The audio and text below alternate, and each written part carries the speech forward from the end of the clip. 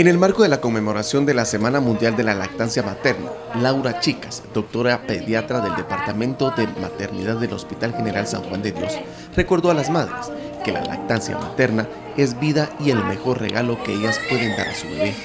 Toda madre que inicia la etapa de ser madre tiene la capacidad de producir leche con nutrientes esenciales para el fortalecimiento y protección de la salud del recién nacido, siendo sano para el consumidor y para ella proveerlo así con el motivo de la fecha, que se celebra desde 1992 cada 1 de agosto.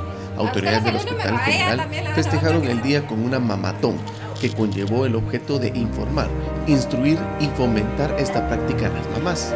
Aparte de todo, está comprobado que la lactancia materna beneficios a largo plazo, que no lo vemos ahorita. Los niños que son amamantados exclusivamente son niños que tienen menos enfermedades crónicas no transmisibles como lo son hipertensión, diabetes, obesidad, porque los programan metabólicamente desde que son pequeñitos, ¿verdad? Y son cosas importantes también para, para el país. De tal cuenta, Chicas explicó que la lactancia materna en un bebé contribuye a su sano crecimiento para que no se enferme frecuentemente, en tanto fortalece el vínculo entre hijo y madre.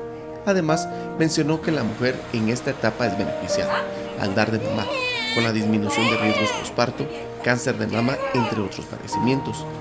Pues para que la madre se dé cuenta que no tiene que estar tapada, que no tiene que estar cubierta, que todas esas son imposiciones sociales y lo puede hacer libremente porque esta es una de las barreras que se tiene a veces.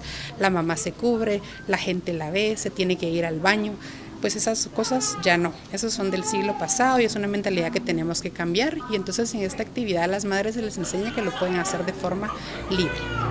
La mamatón es una actividad que informa a las madres de que no existen barreras sociales para poder amamantar a sus bebés en espacios públicos, concluyó la doctora del general. Para el informó Noé Pérez.